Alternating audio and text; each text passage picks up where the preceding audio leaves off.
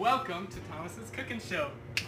Hey. First thing we need to do is safety equipment. So I got my apron and I got my glasses. Let's cook. What we're going to be cooking today is corn. We drop it in here and let it cook for 5 to 10 to 25 to... As you wait for it to cook, you could reminisce about the days gone by, the days that you peaked. And now uh, we're cooking. Oh no! Oh no! It's all over the printer! So then you just move it over here. Problem solved. The excess water, use your apron and wipe it down. Problem solved.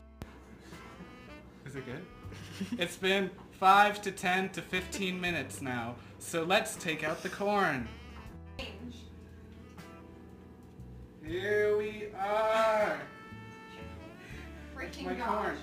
Ow! corn. Wipe some butter over it. Wipe Another. some butter over it. It's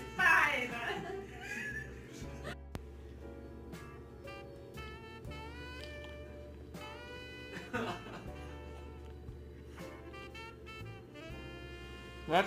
That concludes this episode of Cooking with Thomas. Join us next week where we cook something else in the kettle. Mm.